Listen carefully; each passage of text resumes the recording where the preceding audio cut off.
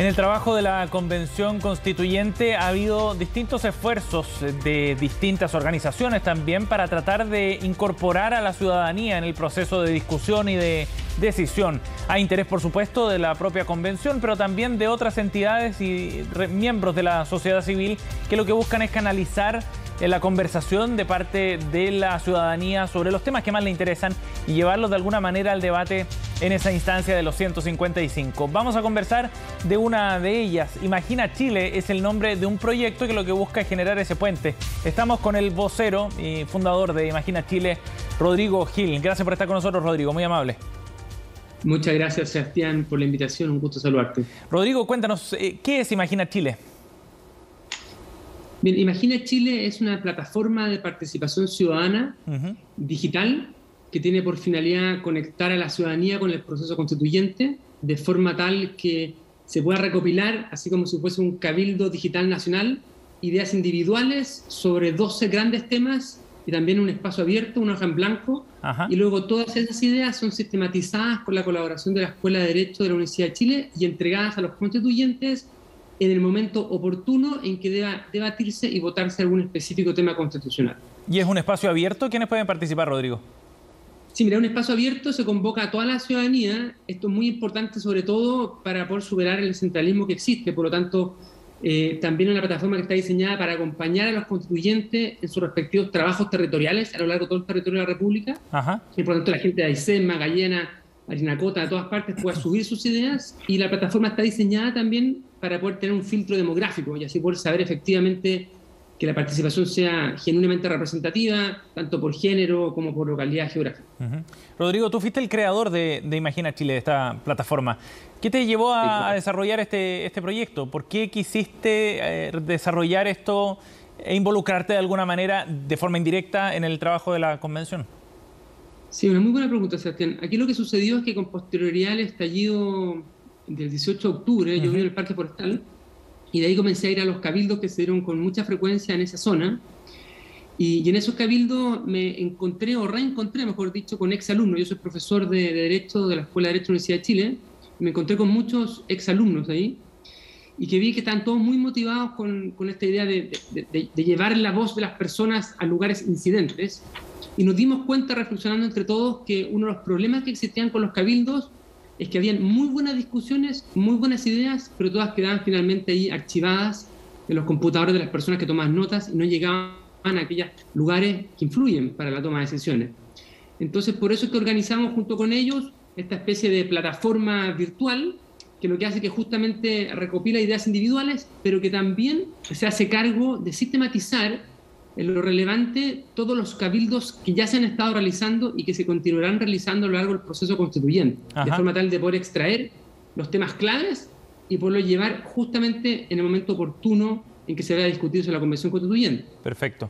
Sí, eh, es interesante eso, eh, Rodrigo, porque en el sitio web, y ustedes en sus casas pueden ingresar a imaginachile.org, aparece una planilla con eh, puntitos de colores, uno presiona alguno de estos puntos, por ejemplo, y aparecen algunas de las ideas que van surgiendo en esta conversación virtual. Por ejemplo, Miguel Valencia de la Florida dice, la educación debe formar una visión moral única de país, centrada en ciertos valores. Otro de los puntos, estoy apretando aquí aleatoriamente, eh, dicen que debería haber una obligatoriedad a todas las personas investidas en cargos públicos de utilizar establecimientos de salud y educación pública. Es una idea de Camilo, de Macul.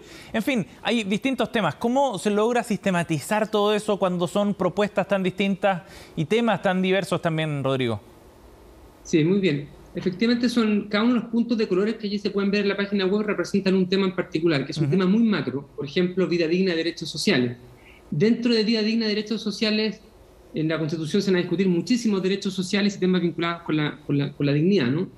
Entonces, por lo tanto, se van a extraer solamente aquellos temas eh, que están vinculados con el específico asunto que vaya a ser discutido. Por ejemplo, si es que hay ideas vinculadas con el derecho a la vivienda, por ejemplo, con un derecho social, se van a extraer y se van a presentar a los convencionales constituyentes. Pero adicionalmente a esto, que es muy importante, la, el, el, proceso de sistematización es mucho más complejo porque por un lado va a cruzar la información no solamente con las ideas que están individualmente señaladas en estos puntos, sino que también se van a recoger todas aquellas conclusiones de todos los otros cabildos que han existido ¿Qué me refiero con Perfecto. esto? El proceso de sistematización de Michelle Bachelet del 2016, los 1.200 cabildos que hizo Unidad Social, los cabildos que hizo Tenemos que hablar de Chile, cada uno de esos cabildos tiene sus propias sistematizaciones y nosotros de ahí lo que extraemos son sus conclusiones principales y también cruzarlas con estas ideas y también cruzarlas con las eh, propuestas individuales los cabildos de Bachelet para así poderlas entregar a los constituyentes. Ese se cruza información.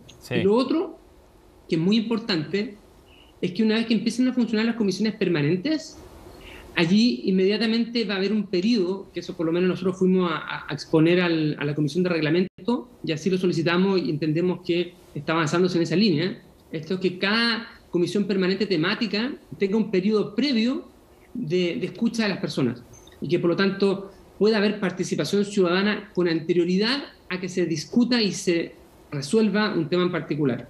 Siguiendo con el ejemplo, por ejemplo, de derecho a la vivienda, antes de que se vote en la comisión respectiva, la idea es que a través de esta plataforma y otras se dé el espacio a las personas para que opinen específicamente sobre ese tema en particular que se va a debatir. Ajá. Sí, ese, punto es bien relevante porque la descripción del, del, proyecto ustedes dicen que lo que buscan es promover e impulsar la participación ciudadana activa, pero con incidencia, eh, incidencia efectiva, digo, en la, en la convención.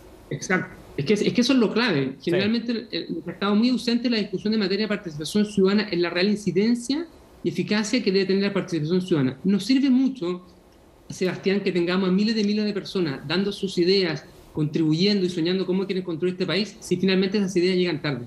Por eso es que todo tiene que estar sincronizado para el momento de las votaciones. Y eso es lo que muchos presentes ya en tres comisiones que nos han invitado a la Convención Constituyente y ya hemos tenido una muy, muy buena recepción. Sí, eso te iba a preguntar. Eh, ¿Qué han dicho los convencionales sobre esta idea? Porque precisamente lo que ustedes buscan también es que los convencionales eventualmente puedan interactuar incluso con, eh, a través de la plataforma con los que participen de ella. Exacto, mira, hemos tenido eh, una, una, una, muy bonita, diría yo, y muy buena reacción por parte de los constituyentes de forma transversal. y desde dos ámbitos, yo diría que como, como que institucionalmente, como se está cerrando el reglamento, hay una claridad bastante transversal, como digo, de todos los constituyentes y constituyentes que quieren incorporar mecanismos de participación con incidencia en el proceso eh, constituyente. Y por lo tanto ven Imagina Chile como, como, como, una de las herramientas posibles para poder cumplir con ese objetivo. Pero también de eso, lo que me ha sorprendido mucho, es que muchísimos constituyentes han también solicitado, y nosotros obviamente lo hemos aceptado, poder utilizar la plataforma como una de sus herramientas de trabajo territorial en lo que se espera que se acuerde, que son semanas distritales como de rendición de cuentas. Lo que se está discutiendo es que justamente una vez al mes los convencionales tengan la obligatoriedad de cumplir con un mínimo de ir a sus respectivos territorios y recoger participación ciudadana. Entonces nosotros hemos conversado, está muy interesado, o sea, eh, está, está, ocupando ya el proyecto Patricia Politzer, Marucha Pinto, Tomás Laive, hemos conversado con Jorge Abarca, con Pato Fernández, o sea, hay muchos constituyentes que están muy interesados y lo que vamos a hacer es que les vamos a crear una, una, una especie como de usuario especial para sus trabajos territoriales locales, de forma tal que todas las ideas que se, se recopilen en, ese, en esa visita particular a su territorio pueda estar vinculado con su respectivo cumplimiento de su función de trabajo territorial. Eh, Rodrigo, ahora, em, en, una, en, una, reflexión más amplia, ¿por qué es tan importante esta, esta instancia, la, la, participación ciudadana efectiva? Efectiva, esa palabra es clave en la, en la convención. Sí, es una muy buena pregunta. Mira, yo creo que es probablemente lo más importante. Cuando uno va al primer registro que hay de participación masiva en cabildos, que son los cabildos del 2016 de bajo el gobierno de Michelle Bachelet, allí hubo una pregunta que fue realmente importante la respuesta, que se decía, se preguntaba a las personas, ¿cuál considera usted que es la institución que debiese estar considerada en la Constitución?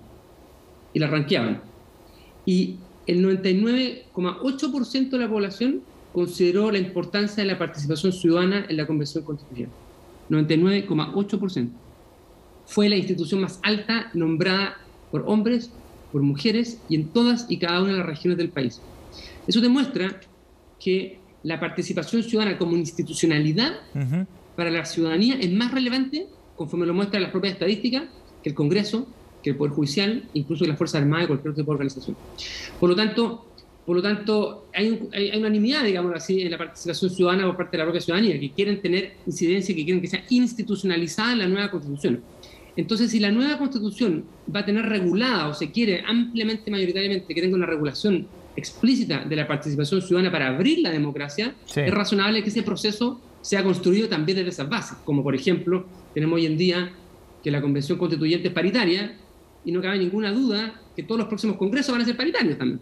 Probablemente, Entonces, bajo esa misma lógica, bajo esa misma lógica es, fundamental cumplir con esa, con esa amplia expectativa de la ciudadanía, pero también, Sebastián, y que esto sí es muy importante, una amplia y masiva participación ciudadana hace que las personas sientan suyo este proceso constituyente. Exacto. Y por lo tanto, le den mucho más legitimidad. Y no olvidemos que acá hay un plebiscito de salida con voto obligatorio y es necesario que sea aprobado por una amplísima mayoría, ojalá más de un 80%, de forma tal que la gente sienta en su ADN que esta es su constitución, su pacto social y que lo vincula emocionalmente con este país. Sí, claro, y pensando en que se proyecte por largo tiempo en nuestro, en nuestro país. Rodrigo, gracias por conversar con nosotros, muy amable. Un gran abrazo, que estén muy bien. Bien, si quieren participar de esta instancia, quieren entender cómo funciona o dejar sus comentarios también, vayan al sitio imaginachile.org y ahí pueden entonces registrarse, es muy fácil, y dejar sus comentarios también para participar de esta instancia de participación en el proceso constituyente.